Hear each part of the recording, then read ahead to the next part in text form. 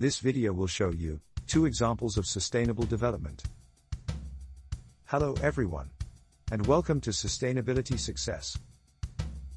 Let me tell you about a fantastic free tip. This is helping people globally to stay updated with instructive videos like this one. It's the subscribe button. It's free and full of helpful videos. And don't forget to give this video a thumbs up if you enjoy it. So, one of the most exciting examples of sustainable development is sustainable manufacturing. This involves using the benefits of Industry 4.0 and green technologies to improve the efficiency and sustainability of the most modern factories. By switching to renewable energy and by gathering large amounts of data coming from every aspect of the business, it is possible to use artificial intelligence to help us easily find and remove inefficiencies, helping the company to make progress on all the three pillars of sustainability. Environmental, reducing wasted energy and materials, making products of better quality that last longer, and much more. Economic, a more efficient business will make more profit. Social. The additional profit can be invested in improving the working conditions, creating more jobs, and giving back to the local communities. In sustainable manufacturing, the three pillars of sustainability are perfectly balanced, allowing the business to be economically, socially, and environmentally sustainable. Another great example of sustainable development is sustainable urban design. This includes things such as reducing energy consumption, discouraging the use of private cars, planning the urban layout to reduce waste, and planning urban green spaces.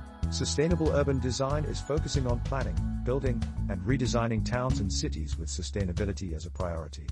Redefining the relationship between the environment, economic activities, and social livelihood in the urban setting. For example, green spaces like parks and trees are not just urban decorations, because they help to improve the sustainability of the city. Improved air quality.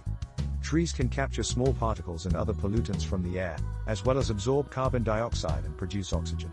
Health benefits. Living near an open, green area like a park encourages people to be more physically active and reduces stress by giving residents a space to relax and connect with nature. Social benefits. A park is a fantastic place for people to meet up and socialize, helping visitors to connect with other people in their community and improving social sustainability. Reduced energy consumption. Trees provide shade and reduce the heat buildup in the surrounding area. This helps to reduce the electricity consumption used for air conditioning. Improved water quality. Green areas help to reduce the quantities of pollutants arriving into the waterways and the underground water supply. Reduced soil erosion. Trees and plants help to keep the soil in place. Modern cities are also built to encourage sustainable mobility options such as cycling, walking, and public transport. This is achieved by carefully planning the location of essential services and businesses, making sure that there are sustainable mobility options available other than using a private car.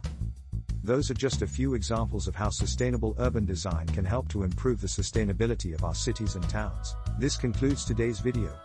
If you would like to join our community and learn more about sustainability, subscribe to our channel and like this video. Also, if you found this video helpful, leave us a comment down below.